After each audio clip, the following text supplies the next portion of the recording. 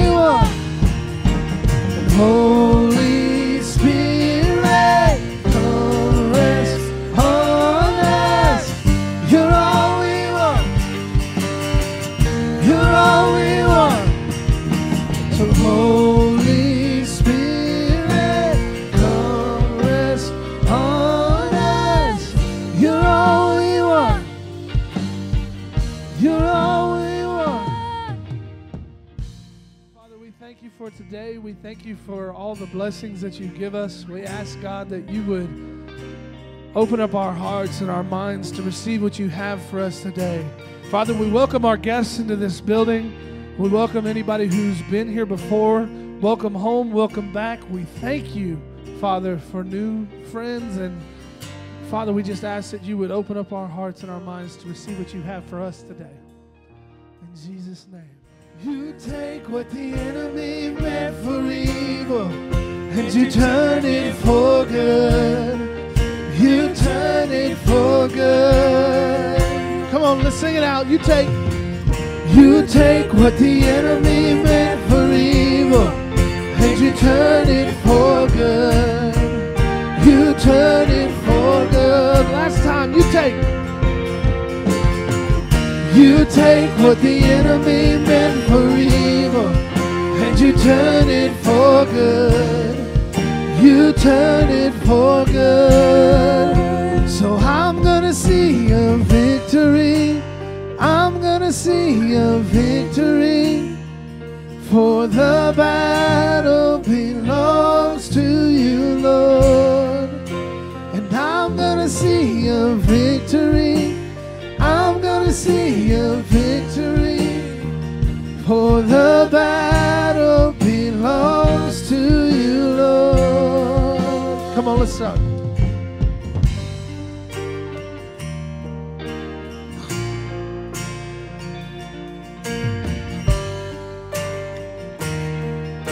Let's sing this out. The weapon may be formed. The weapon may be formed, but it won't prosper. Cause when the darkness falls, it won't prevail. Cause the God I serve knows only how to triumph. And my God will never fail. Come on, let's sing it out. My God. Oh, my God will never fail. I'm going to see. I'm going to see a victory. Come on, sing it out. I'm gonna see a victory. For the battle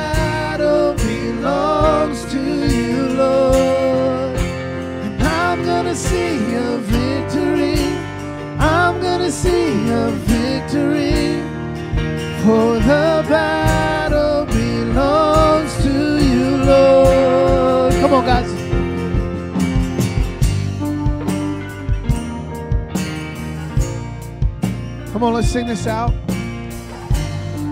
There's power in the mighty name of Jesus. Let's go. There's power in the mighty name of Jesus. And every war he wages, he will win. And I'm not backing down from any giant. Cause I know how story ends. Yes, I know how this story ends. Cause I'm gonna see a victory. I'm gonna see a victory. For the battle belongs to you, Lord. I'm gonna see a victory. I'm gonna a.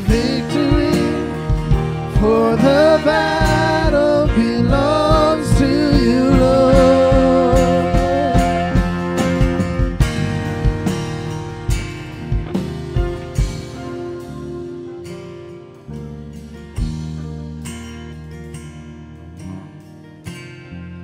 Come on, you you take.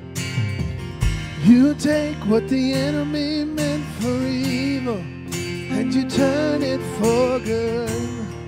You turn it for good. Come on, let's sing that out. You take. You take what the enemy meant for evil, and you turn it for good. You turn it for good. You take what the enemy meant for evil and you turn it for good. You turn it for good. One more time. You take. You take what the enemy meant for evil and you turn it for good. You turn it for good. I'm gonna see, and I'm gonna see a victory. I'm gonna see a victory. For the battle belongs see a victory. I'm gonna see a victory. For the battle belongs to you, Lord. You are my champion. Giants fall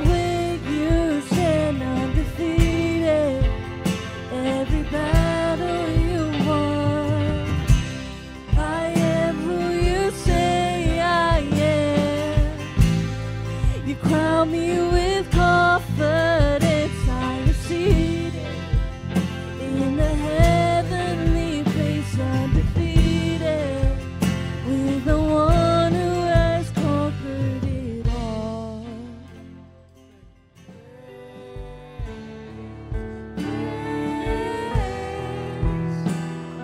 I still got a reason to praise, praise,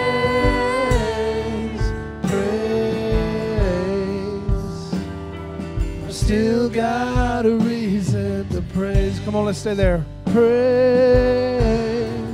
praise. I still got a reason to praise, praise.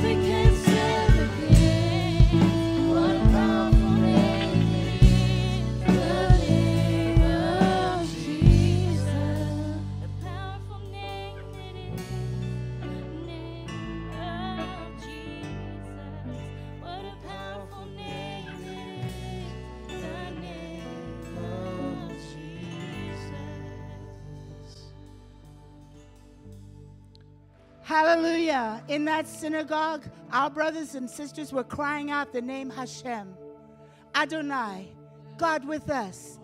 The Lord is a strong tower, and we will run into it. And they were crying out because that man who had an agenda had nothing to lose. He had already decided he was going to die. So, what's taking four more lives? but the name of Jesus and people around the world, Christians praying for our brothers and sisters, tore down that wicked, sinful act. Let's praise that out. Hallelujah. What a powerful name. So many names of God. So many names of God. Who is God to you today? Are you needing him, needing him as Jehovah Rapha, your healer? Are you needing him as Jehovah Jireh, the one who provides for you, the one who gives you eyes to see his provision? Are you needing, call out the name of God, who he is to you today? Who is he? Let's exalt his name. He's El Shaddai. He's what else? Our Savior. Who else is he to you today? He's your friend. He's our comforter in the midst of all that we're walking through. What a powerful name, the name of Jesus.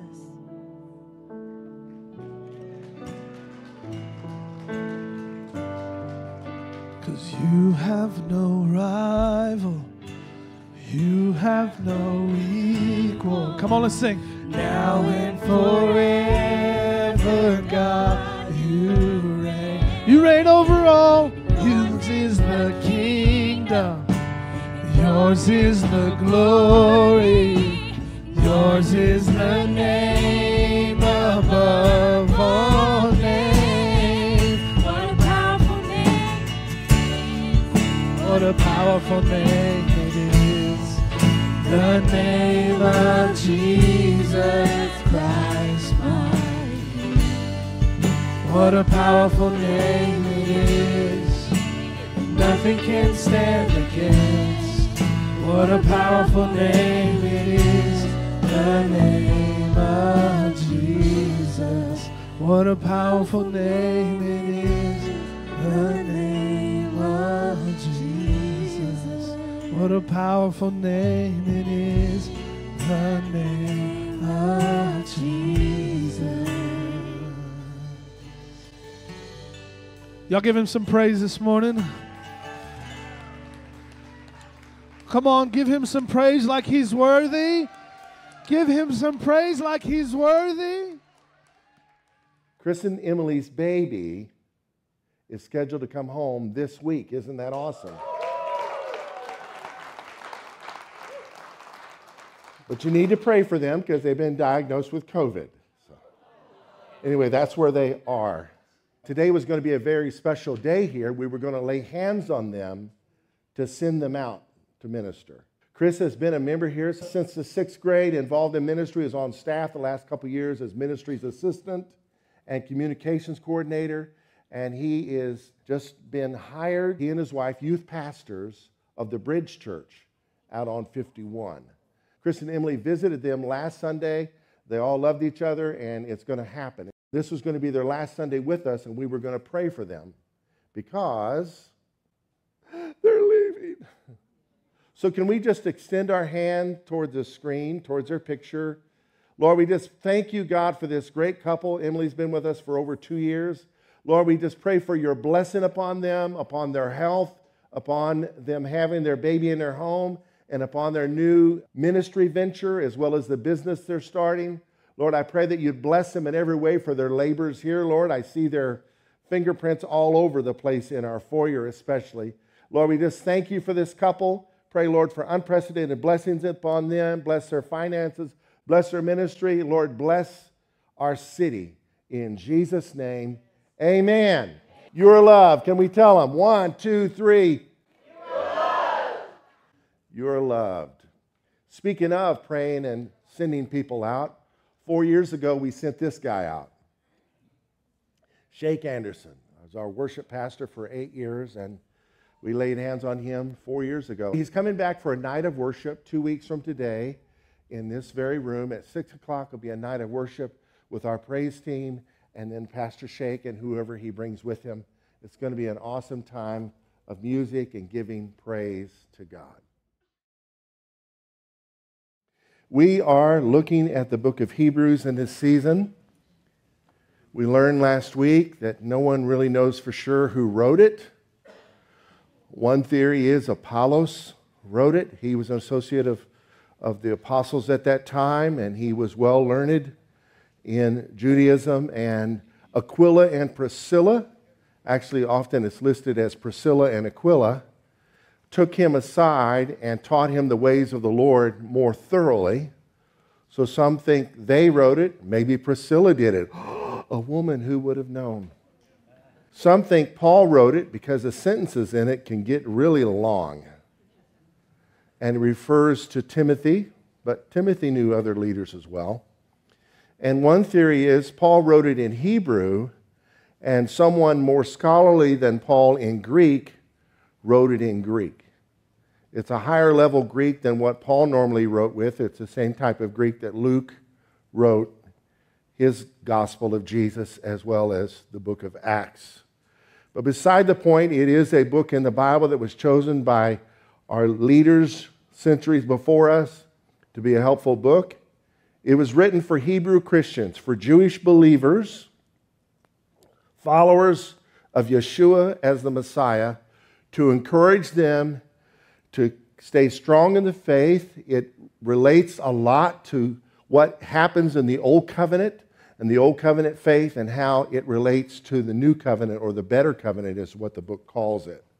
And so we're going to start with verse 5, but I really want to segue to verse 5. So let's go to the very beginning, chapter 1, verse 1. He opens, or she opens, the writer opens God, who at various times and in various ways spoke in time past to the fathers by the prophets, has in these last days spoken to us by his Son whom he's appointed heir of all things, through whom also he made the worlds, who being the brightness of his glory and the express image of his person, and upholding all things by the word of his power, when he by himself purged our sins, sat down at the right hand of the majesty on high, having become so much better than the angels, as he has by inheritance obtained a more excellent name than they. All right? Then Chapter 1 goes into how the Son of God is above the angels. There was a theory at that time that Jesus wasn't the Son of God, but he was an amazing person who was actually an angel. But he's above the angels. All right, chapter 2, verse 1. Therefore, since Jesus is the Son of God and he's above the angels, Therefore, we must give the more earnest heed to the things we have heard, lest we drift away. For if the words spoken through angels prove steadfast, and every transgression and disobedience received the just reward, how shall we escape if we neglect so great a salvation, which at the first began to be spoken by the Lord and was confirmed to us by those who heard him? So that opens our subject matter. That if Jesus is greater than angels, and that the angels' words were so important that if people in the Old Testament did not heed them, there were consequences, how much greater is it to heed the words of Jesus, who's higher than the angels? See the point the writer's making? Verse 5. Here we go. For he has not put the world to come, of which we speak, in subjection to angels. But one testified in a certain place, saying, and he quotes from, the writer quotes from Psalm 8, What is man that you are mindful of him, or the Son of Man that you take care of him? You have made him a little lower than the angels. You have crowned him with glory and honor, and set him over the works of your hands. You have put all things in subjection under his feet. End quote. For in that he put all in subjection under him, he left nothing that is not put under him. But now we do not see all things put under him. What do we see? We see Jesus. If you could, just turning your Bibles to Psalm 8 reminds me of Genesis 1:26. God says, "Let us make man in our image, and let us make man male and female." There's no room for confusion there. Can I get an amen? And let them have dominion over the fish of the sea, over the fowls of the air, over the beasts of the field, and over every creeping thing that creeps on the earth. Dominion over the creeps. He gave us dominion. Psalm 8. O Lord, our Lord, how excellent is your name in all the earth, who have set your glory above the heavens. Out of the mouth of babes and nursing infants, you have ordained strength or praise. Because of your enemies, that you may silence the enemy and the avenger. When I consider your heavens, the work of your fingers, the moon and the stars which you have ordained, what is man that you are mindful of him? That's what he's quoting there in Hebrews 2. When I look at all these awesome things that God is worthy of praise for, and then I look at us, who are we? What is man that you are mindful of him, and the Son of Man that you visit him? For you made him a little lower than the angels. So we are lower than angels. Jesus is above angels. We are lower than angels. They have more power, they're eternal creatures. Uh, we have things they don't have. We have redemption. We have opportunities to be saved. They, if they rebel, it's all over for them. For you have made him a little lower than the angels, and you have crowned him with glory and honor. You have made him to have dominion over the works of your hands. You have put all things under his feet, all sheep and oxen, even the beasts of the field, the birds of the air, and the fish of the sea that pass through the paths of the seas. O Lord, our Lord, how excellent is your name in all the earth. Now, you can read this and understand this to have been our destiny, but because of sin, it's not the case. So it's our prophetic destiny. But you can understand it to be the Lord Jesus Christ. That's why he ends with, Oh Lord, how excellent is your name. How excellent is your name that you have made your Son to have dominion over us. So the book of Hebrews is talking about Jesus, for in that he put all in subjection under him, verse 8. He left nothing that is not put under him. Everything in natural creation was put under man's authority. Can I get an amen? amen? But now we do not see all things put under him. But we see Jesus, who was made a little lower than the angels. What? I thought he was above the angels. Yes, that was the case made in chapter 1, but chapter 2, he humbled himself. He made himself. The Father made him lower than the angels. He became human. Why? For the suffering of death, crowned with glory and honor, that he, by the grace of God, might taste death for everyone. For it was fitting for him, for whom are all things and by whom are all things, in bringing many sons to glory, to make the captain of their salvation perfect through sufferings. The word their captain could be translated pioneer or author. He is the Lord of salvation. Can somebody say yes? yes? So, how is he made complete through suffering? He took our place. He became lower than the angels. And he paid the penalty for sin, which was death.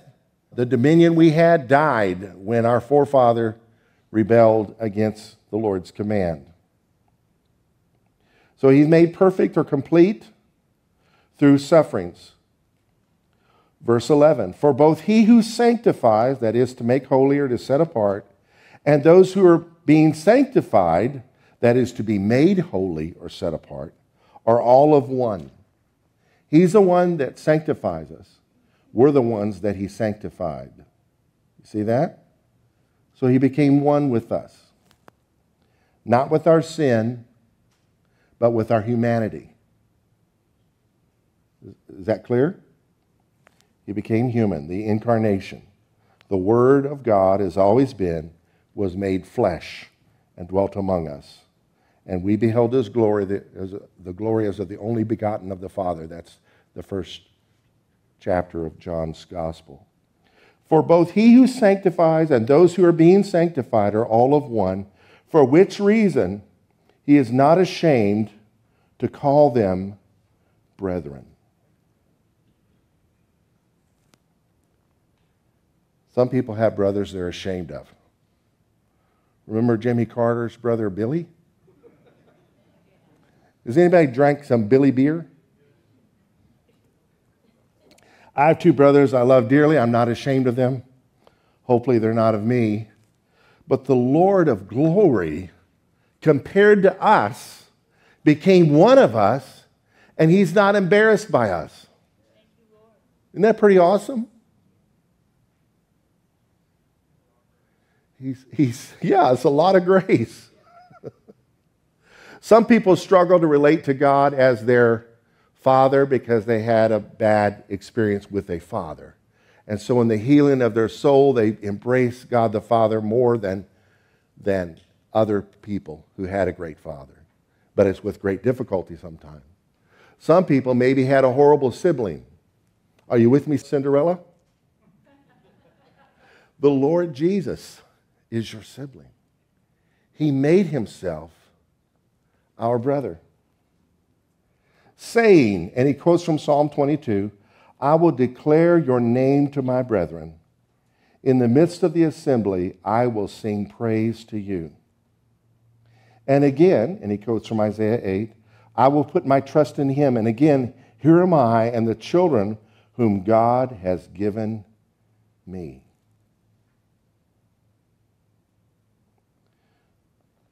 Here am I and the children God has given me.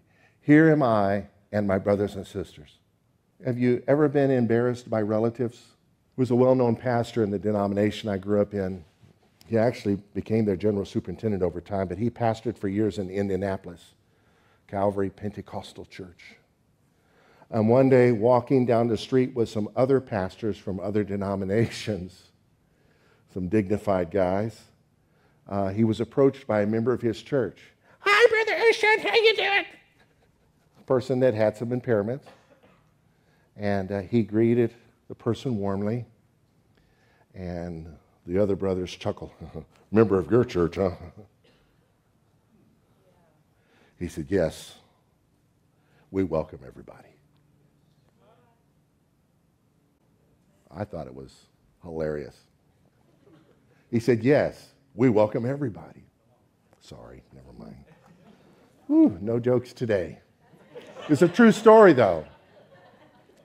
I'd like to speak to you for the next few minutes on our brotherhood with Jesus.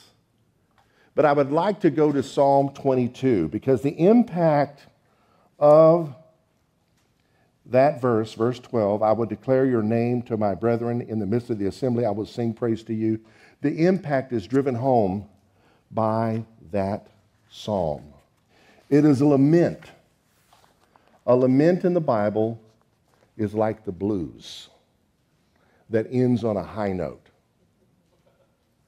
It's not just whining, whining, whining, but it's telling it like it really is.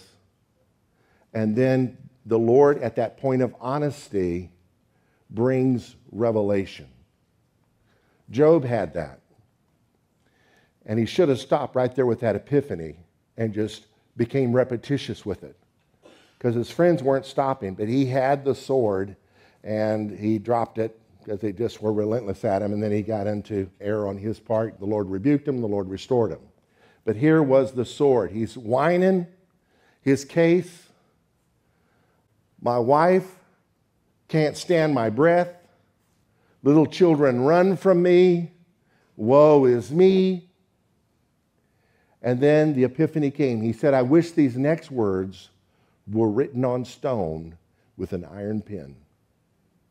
For I know that my Redeemer lives, and in my flesh I shall see God. End of sentence. Case closed. He didn't know how redemption was going to come. He knew things were bad. He was being honest with the Lord. The Lord gave him faith. Faith comes from the word, right? The Lord gave him a word to use like a sword. I don't know how redemption is going to come, but I know the Redeemer lives. We may not know how healing is going to come, but we know the healer lives. You may not know how restoration is going to come, but rest assured the restorer lives. That makes sense? So, in the depths of your despair, be honest with the Lord. We, we don't believe in faking it till we start making it. but we faith it till we make it. So, in your despair, be honest with the Lord. Don't tell him, I don't have a code. I have a cold. And I need some help. Tell him just how you feel, how it all is, and wait before him. Just don't go into a rant and raving and not listening. And he will bring a promise to you. Hold on to that promise. When discouragement comes, just re- repeat it. The enemy of your soul is not very creative, but he is relentless. And the weapon that beat him yesterday is the same weapon that will beat him tomorrow. Well, it must not have worked. Here's the devil again. Well, what worked? What worked? Well, he's back. Well, you're hungry again, right? Did the meal you ate not work? Right? Hunger is persistent, it will return, right? Thirst is persistent, it will return. So, food and drink is a constant. Getting sleepy, well, it must not have worked. I'm sleepy again. Well, you worked yesterday. So, that weapon the Lord gives you is like a sword in your mouth. Amen.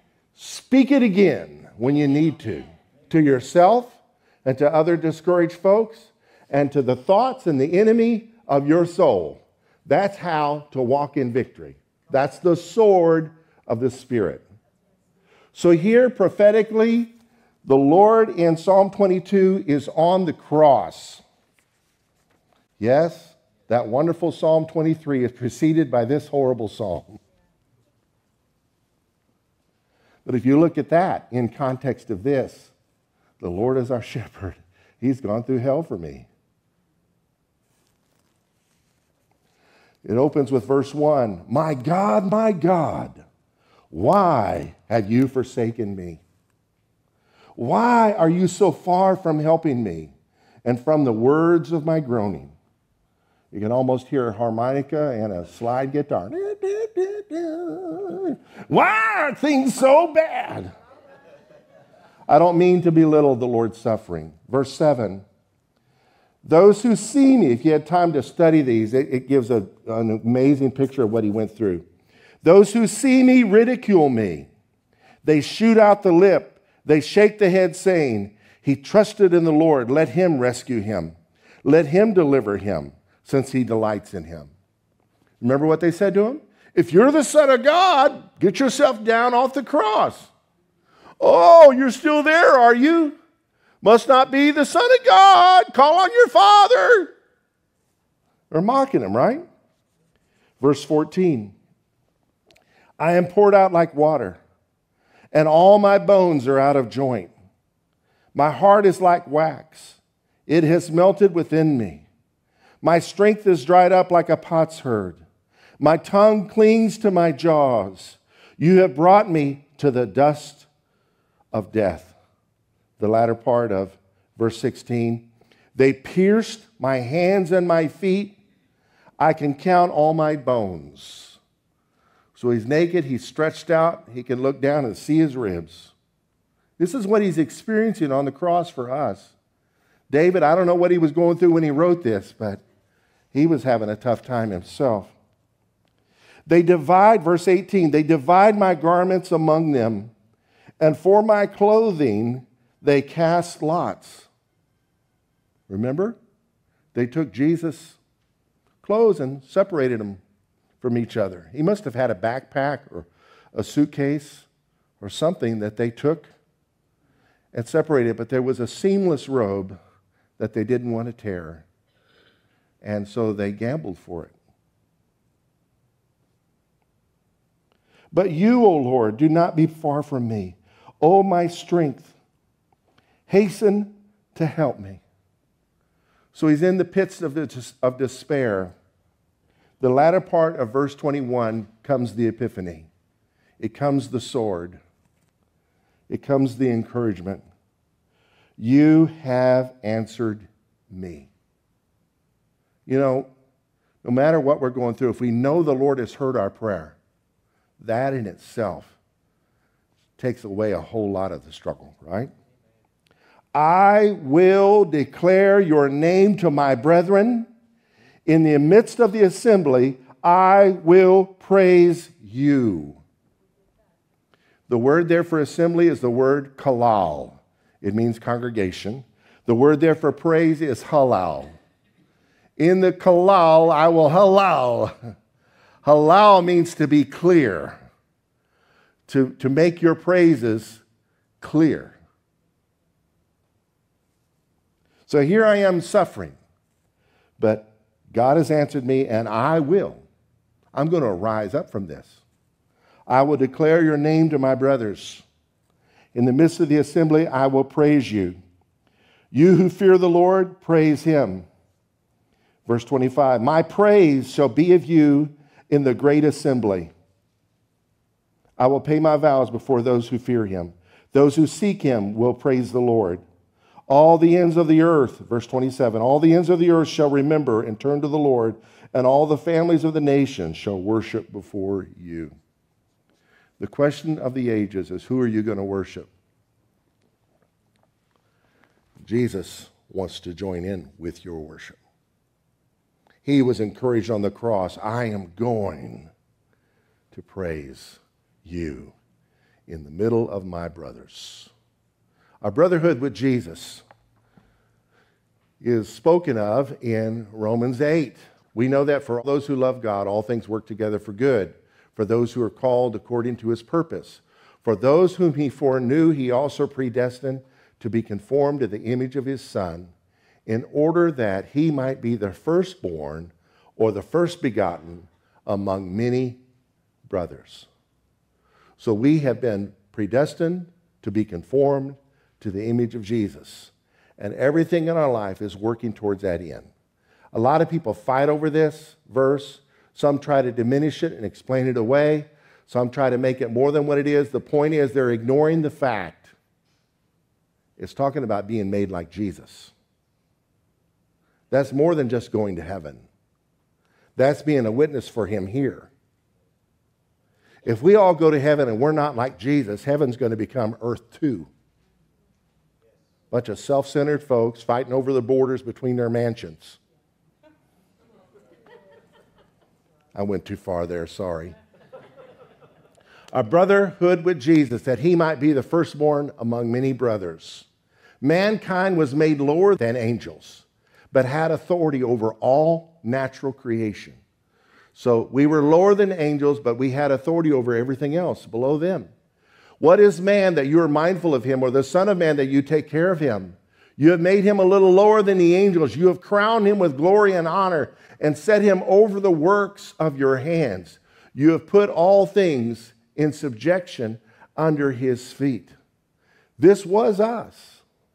This was our condition. But right now, it's just prophetic.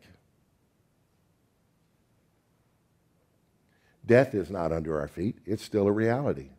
It's under the feet of Jesus. Having lost authority, now death reigns.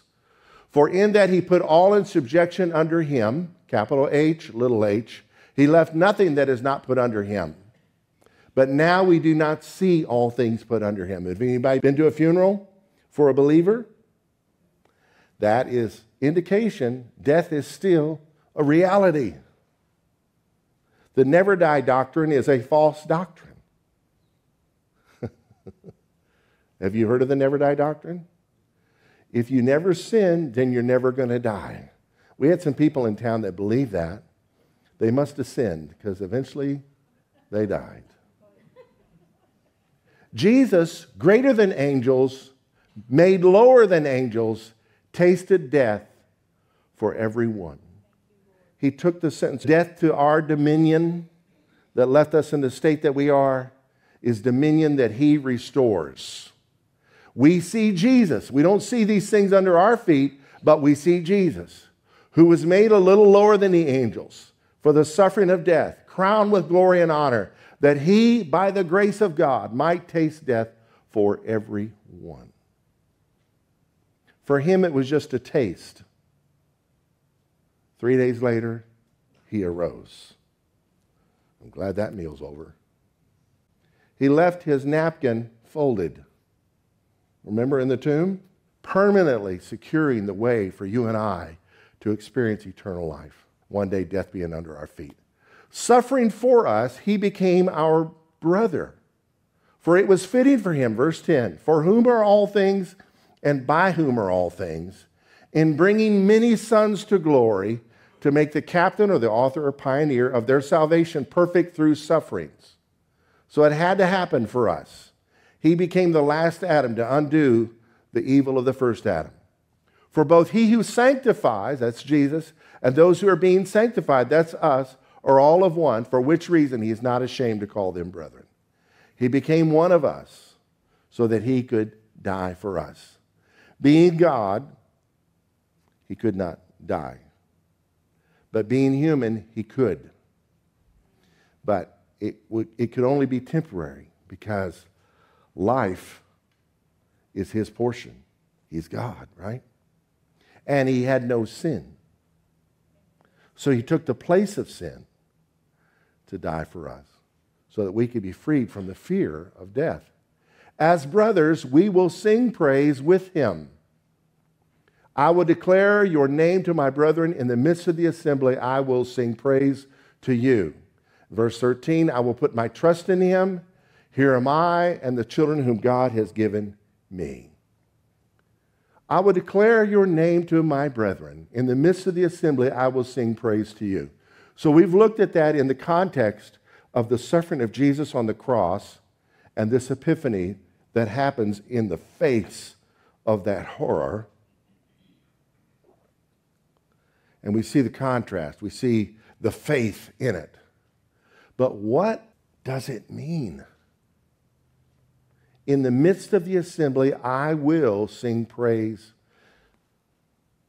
with my brothers, my sisters. Don't let the gender thing in the Bible mess you up. When it's talking about mankind, it's all of us, right? Corporately, we are the bride of Christ, all of us, men and women. We're not the brides of Christ, we are the bride of Christ, right? Corporately, we are the body of Christ, right? Not individually, I'm not the body of Christ. I'm part of the body of Christ. But corporately, the church in the earth is the body of Christ, right? Individually, we are the sons and daughters of God. But ladies, Individually, you're a son of God.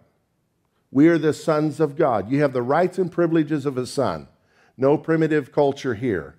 We are all the sons of God, corporately and individually. I know that sounds weird, but just, I like to call myself a daughter of a king. That's fine. You are the daughter of the king. That is biblical. But you have all the privileges of being a son.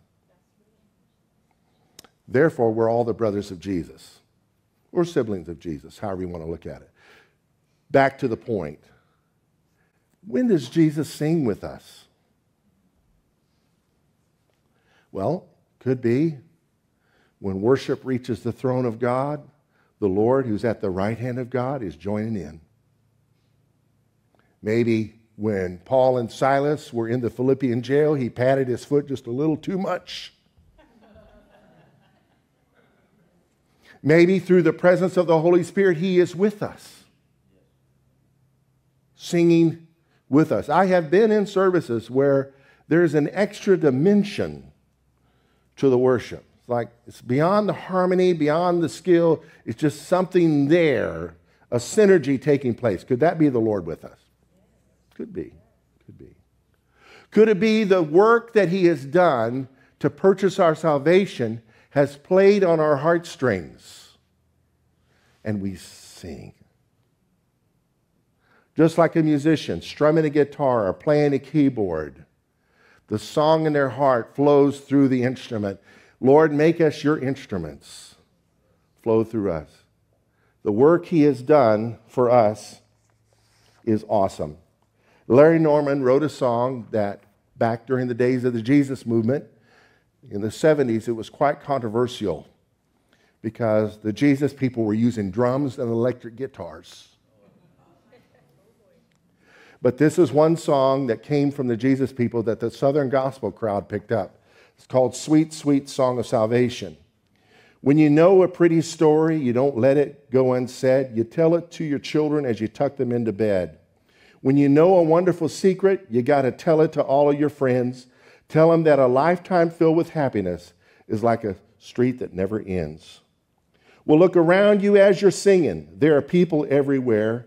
And to those who stop and listen, that sweet song becomes a prayer. When you know a wonderful secret, you got to tell it to all your friends. Tell them that a lifetime filled with Jesus is a street that never ends. And the chorus is Sing that sweet, sweet song of salvation and let your laughter fill the air. Sing that sweet, sweet song of salvation and tell the people everywhere. Sing that sweet, sweet song of salvation to every man and every nation. Sing that sweet, sweet song of salvation and let the people know that Jesus cares. He saved us. It puts a song in our hearts, right? If a songwriter writes a song like, A mighty fortress is our God, Martin Luther got that tune from the secular world and put words to it, and whoever translated it into English did a mighty, mighty deal. So while the songwriters are not present with us, they have done work that keeps the song going, right? So the Lord is singing with us no matter how you look at it. And maybe this video is a metaphor of the work of the Lord. Watch this. This is from Britain's Got Talent. Hi, how are you? I'm very well, thank you. How are you? I'm good. Nice to, meet you. I am so good. nice to meet you. What's your name? My name's Patrick George. Patrick George. Yes. Okay, and what's the act, Patrick? I'm a gospel choir. You, you... Just you. Yes, I'm a choir. Do you have a normal job, Patrick? Yes, I do. What is it? I'm a pastor. A pastor. Yes, I am. Do you think you could save Simon's soul? Or do you think he's going straight to hell? You'll be driving the bus, dear. Back to Patrick. Yeah, That's okay? sorry, yeah. Thank you. Okay, great. Well, I can't wait to hear the act. Good. Good luck. One, two, three, four.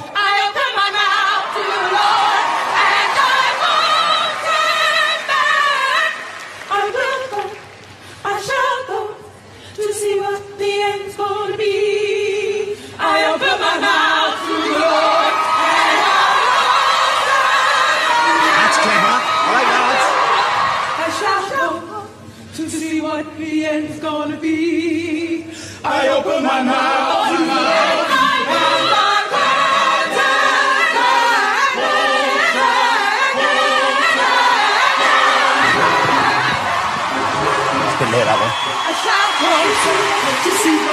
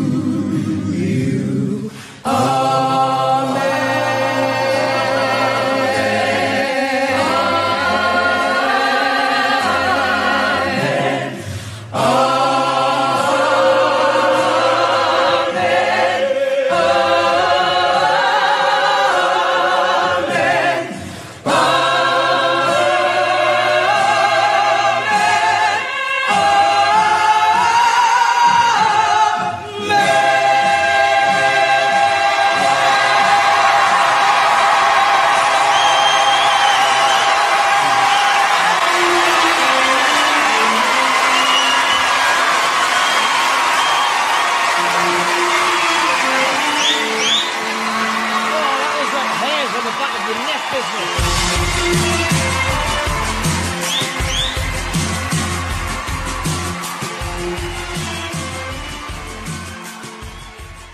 Needless to say, they got four yeses. Lord, we don't know how you sing with us, but we're glad you do. And Lord, we thank you for going through the cross, not calling angels down to do your bidding, to rescue you from saving us from our sin. Lord, we thank you that you went through with the deed.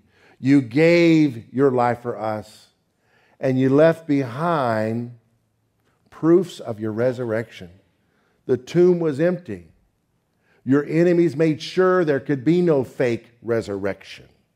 You were killed by professional executioners to make sure you were dead.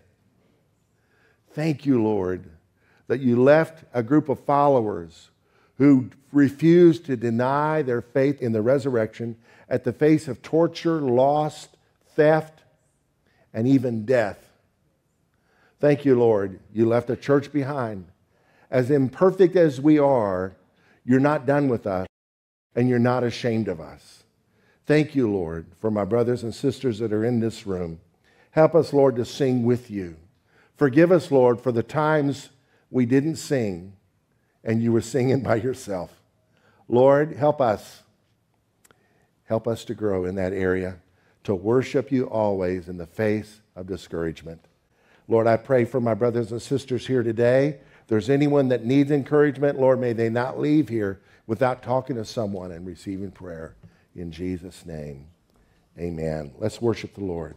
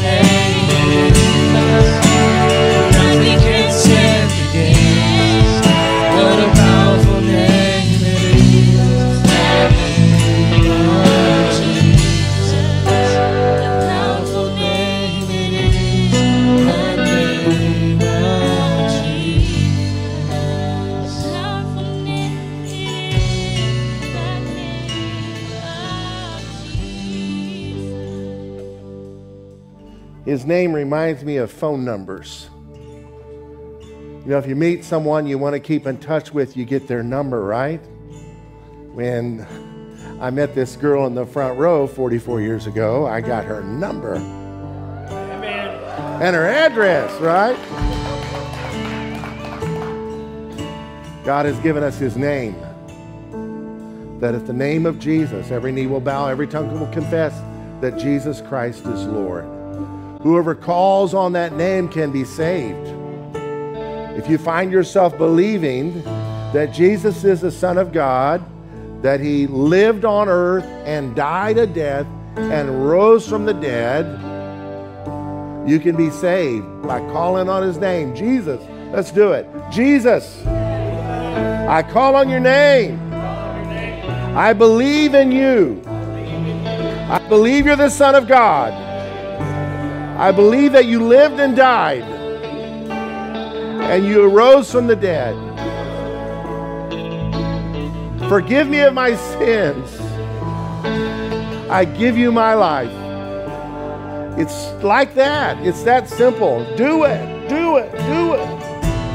Well, do I have to do it publicly? No, you don't. Water baptism is public. So we don't baptize people in closets. So if you find yourself becoming a believer having prayed like that, come to us. The Lord will put a desire in your heart to be baptized. Amen. Thank you so much for worshiping with us today, worshiping with Jesus today. May the Lord bless you and keep you. The Lord cause his face to shine upon you and be gracious to you. The Lord lift up his countenance upon you and give you his peace. What a wonderful name it is. What a wonderful name it is. The name of Jesus Christ, my King. What a wonderful name it is. Nothing compares to this. What a wonderful name it is. The name of Jesus. Go get them, Tigers.